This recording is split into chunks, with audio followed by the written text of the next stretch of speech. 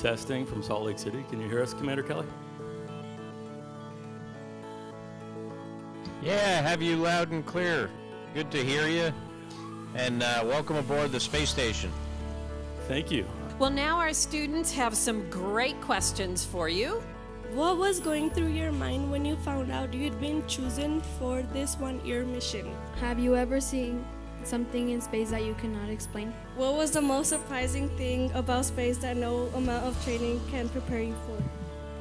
You know, what I remember from my first flight was that I, I was uh, very surprised at how beautiful the Earth was from space.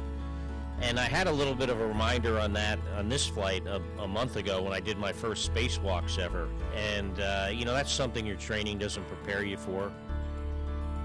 I want to um, ask the Glendale students to join me in saying goodbye from Salt Lake and good luck up there. Thank you, Commander Kelly.